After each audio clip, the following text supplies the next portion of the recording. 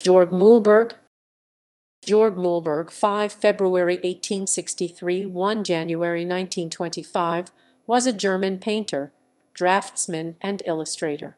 Mühlberg illustrated especially children's literature, including Fables Hey Paul (100 Fables for Children), fairy tales, and magazines.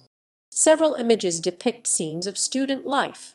He produced a popular postcard series on fairy tales, such as The Wishing Table and The Seven Swabians, the historical novel by Wilhelm Hauff The Piper of Hardt, and novels by E. Marlitt, including The Owl House, The Secret of the Old Maid, Gold Else, and Countess Gisela.